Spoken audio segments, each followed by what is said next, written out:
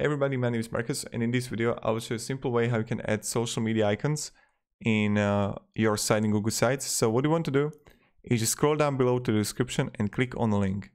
When you will have it, you will get on this site called Elfsight. Elfsight is an amazing company with a lot of widgets and one of the widgets they make is social media icons. So you just want to click here sign up for free and you want to sign with Gmail, Facebook or normal mail.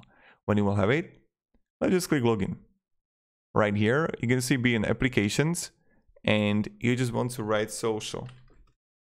And you're going to see social media icons so let's just create a widget.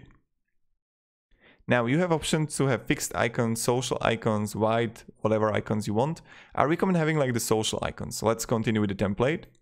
Now here you just want to add like facebook twitter. You can also add like whatever icon you want like linkedin. Look at this. Linkedin and i will just add your url so when it's going someone's going to click on it, then you get like layout. You can simply change and increase the size of it. And then you have the style, you can change the colors. I like it like this. Let's click save. Right after you do it, you need to choose a plan. If you're starting out with your website, go with the light version. But if you're gonna have, I don't know, 5,000, 50 or 5 million views, go with the basic pro or enterprise version. Let's copy the code here.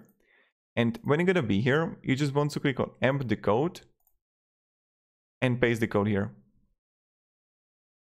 And now we got it. So what I will do, I will just move it like this. And I will move it like, I don't know, here. Oh, it doesn't matter where you put it. But this is how you can add social media icons. You can also edit it to footer if you want to. Like, or like move it to the left side, you know? Up to you. So this is how we had social media icons Google Sites.